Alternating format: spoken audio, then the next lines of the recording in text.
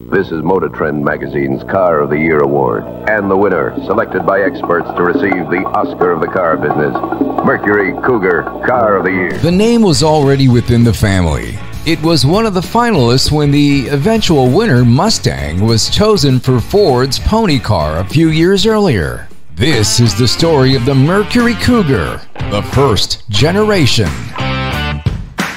The name Cougar sends a strong message of styling and easy gliding, but the powers that be went another direction in 1964, opting for the Mustang as the Ford Pony. Well, you get to ride in a new car and everything. Where should we go for dinner, George? Oh, let's just drive around till we come to a place that looks interesting. Hey, this is Danny B of the Boca Brothers. More of this video can be found on our Boca Brothers Car Review channel. Thanks for watching the Boca Brothers Car Reviews.